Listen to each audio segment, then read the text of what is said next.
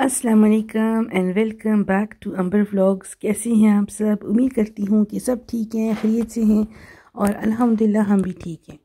तो जनाब, हम लोग अल्हम्दुलिल्लाह घर पहुँच गए हैं फ्रांस और अम्मी ने गर्मा गर्म जो है ना रोटी बनाई थी, सालन था, जलेबियाँ थी भाई ने क्रेप्स बनाए थे। यहाँ पर चिकन बटर है, ये है मेलन जो कि हम सफ़र से लेकर रहे थे, हमने सारा नहीं खाया था तो हमने सब चीज़ें जो है ना साथ सैरी में रख ली थी। तो साथ में दही है, ये है मिक्स वेजिटेबल्स का सालन, ये मुझे बहुत पसंद है।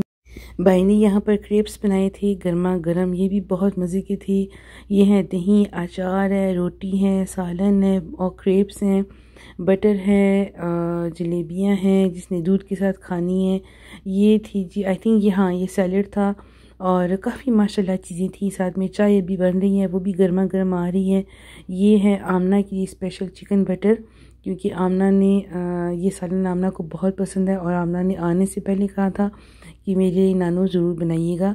तो मामा ने पहले ही बना के रखा हुआ था और जैसे ही हम लोग आए, हम लोगों ने सबसे पहले तो फ्रेश हुए, गपशप लगाई और उसके बाद हमने सरी कर ली। हम लोग सुबह के टाइम पहुँचे थे। जिन्होंने मेरे कल का व्लॉग देखा है, उनको हमारी पूरी ट्रैवल जर्नी का पता है क्या क्या हुआ, कैसे हमने ट्रैवल किया और हम किस टाइम पहुँचे हैं।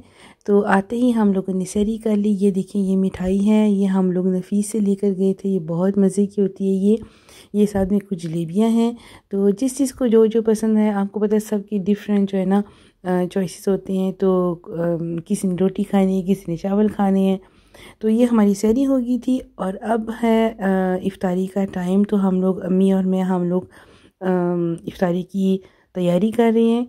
तो यहाँ पर हमने खजूरें रेडी कर ली थी। ये हैं जी दही बड़े।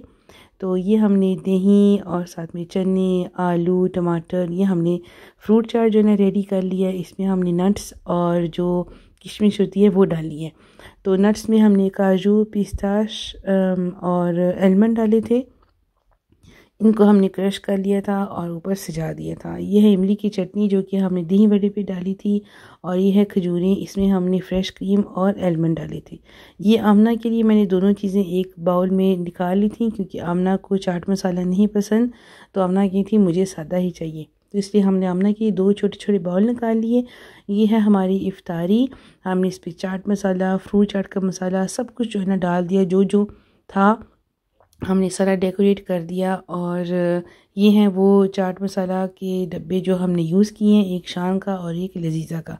थोड़े थोड़े हमने डाले थे क्योंकि इतना ज़्यादा आपको पता है मसाले वाले खाने नहीं होता।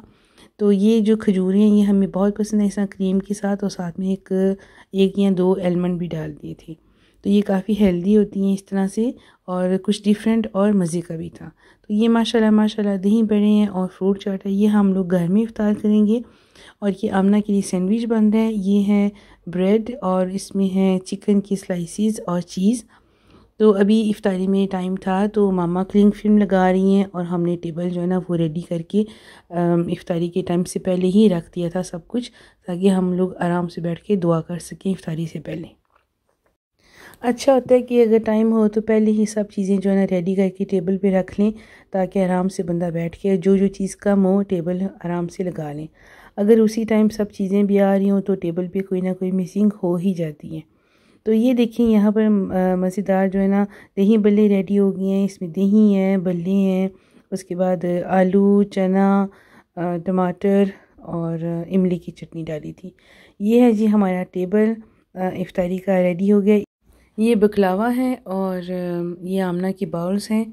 तो अभी बस इफ्तारी में थोड़ा सा टाइम रह गया। हम लोग इफ्तारी करेंगे इन मिल के और माशाल्लाह बहुत मज़ा आ रहा है। पहला दिन था सफ़र की थोड़ी सी थकन थी, लेकिन इतनी हमने बातें वगैरह भी करनी थी। ईद की तैयारी भी थी और सारी प्लानिंग भी थी ईद की। तो ये सब बातें भी भी चल रही हैं, साथ में खाना पीना भी चल रहा है और माशाल्लाह बहुत मज़ा आ रहा है ईद की जो खुशी हैं, वो डबल से ट्रिपल हो गई हैं, अल्हम्दुलिल्लाह से। और मेरी दुआ है कि जो सब लोग हैं, वो अपनी फैमिली के साथ, अपने प्यारों के साथ ईद मनाएँ। और हमें भी अपनी दुआ में याद रखिएगा। तो ये हैं जी, अभी हम लोग आ गए हैं इफ्तारी घर से करके ना तो तकरीबन हमने मगरब की नमाज़ पढ़ी और उसके बाद हम रेस्टोरेंट में आ गए थे। ये तुर्की रेस्टोरेंट है और यहाँ से हमने मुख्तलिफ़ चीज़ें ली। तो ये भी जो आप देख रहे हैं, ये हैं चिकन विंग्स और फ्राइज़ ये है लोदोस ये चिकन रैप होता है बड़ा सा. इसमें आप चिकन या मीट डलवा सकते हैं. साथ में सैलड साथ में चीज़ और फ्राइज़ हैं ये. ये हैं चिकन विंग्स और फ्राइज़ साथ में कैन है.